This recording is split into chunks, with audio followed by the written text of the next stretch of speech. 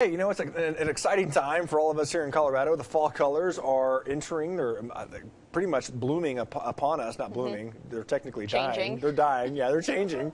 Uh, but, you know, our expectations are high for our fall colors, especially this year, considering all the rain we got with our aspens this summer. But our expectations do need to be realistic a little bit. In the Pike, Pike Isabel National Forest, there's been actually a huge issue with the leaf-eating moths. KRDO News Channel 13's Riley Carroll joins us now live in studio to explain more after speaking with the U.S. Forest Service. Well, good afternoon to you, Josh and Brian. As you can see on this map, the Salida and Leadville area are set to heat their set to hit their peak co colors around October 10th.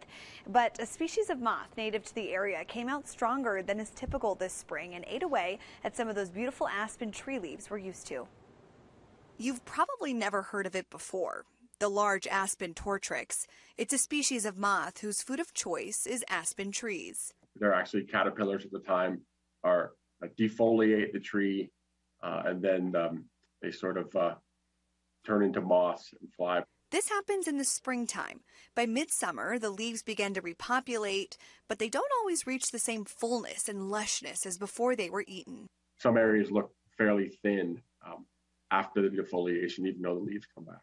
So, if you decide to go leaf peeping in the Salida area in the Pike San Isabel National Forest, just west of Pueblo, you might notice a little difference from the fall colors you're used to. Some areas will, will appear less full and vibrant. I've been noticing it myself. While these caterpillars, soon to be moths, live in the trees every year, forest officials say they're usually so few and far between it's hardly noticeable. But this spring, they came in droves. This spring, uh, it was quite evident across hillside. It's a little bit unusual to have this widespread of an event. It's the largest, you know, most widespread um, event I've ever seen.